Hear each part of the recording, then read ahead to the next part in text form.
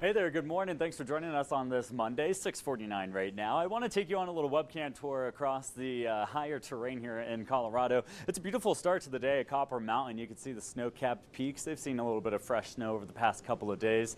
Uh, but the little bit of cloud cover that we have out there, just beautiful and illuminating uh, with that sunrise coming up. Wolf Creek Pass also looking gorgeous with some of those clouds uh, out there just being illuminated by that sunrise. And the snow still uh, hovering right across the San Juans. Same story here in Monarch Pass with, man, just a beautiful sunrise. And if you got out anywhere across eastern Colorado, uh, we just had a gorgeous sunrise on this Monday. A nice start to the work week here in Cheyenne Wells. A little bit of cloud cover out there. The only thing that's doing is making for a beautiful start to the day. It's really not impacting our temperatures much. 39 in Pueblo, 49 in Colorado Springs, and 60 in Denver this morning. So a mild start to the day for most areas, and that's going to lead for a mild afternoon for a lot of areas as well. High pressure is in control. Here's some of that cloud cover flowing from north to south here, just creating uh, a little bit of a blanket over us, but most of uh, the day should be relatively sunny with just a few spurts of clouds out there. A big ridge of high pressure is sitting over us. That's keeping us warm and dry throughout the day today.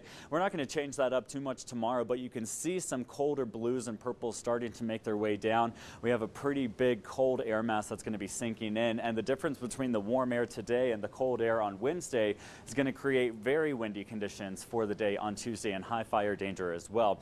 Cold air is going to be in place for the day Wednesday. It's going to be one of the coldest days of the week, and we could be talking about some of our coldest temperatures of the season so far Wednesday night into Thursday morning. Talking about that in just a second. Uh, but the futurecast showing clear skies today, no rain or snow by tomorrow morning. Still no rain or snow, but there's that cold front beginning to move in by the afternoon, bringing a little bit of high elevation snow to uh, the central and northern mountains. Overall, it's going to be relatively a dry front that moves through. We do have just the slightest chance for a little bit of rain and snow showers for early Wednesday morning possible from Denver all the way down to Colorado Springs. We're giving it about a 10% chance of happening, but overall not looking at much in the way of widespread or substantial snow accumulation at all. Future snowfall uh, really only showing the snow adding up in the central and northern mountains about one to maybe four inches. So again, not a huge storm here, but this is what we have to look at uh, in the forecast as it is one of our only systems that's going to be impacting us this entire week.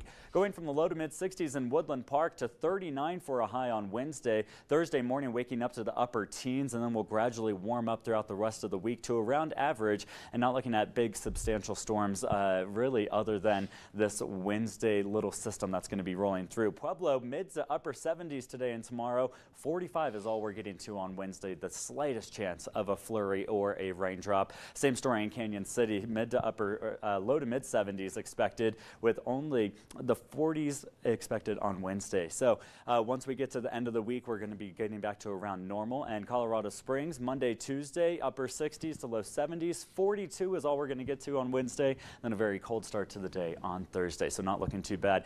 Traffic outside this morning, Natalie, how are we looking? Not too bad, Andy. Good morning, Colorado. 652 on the clock. Wrapping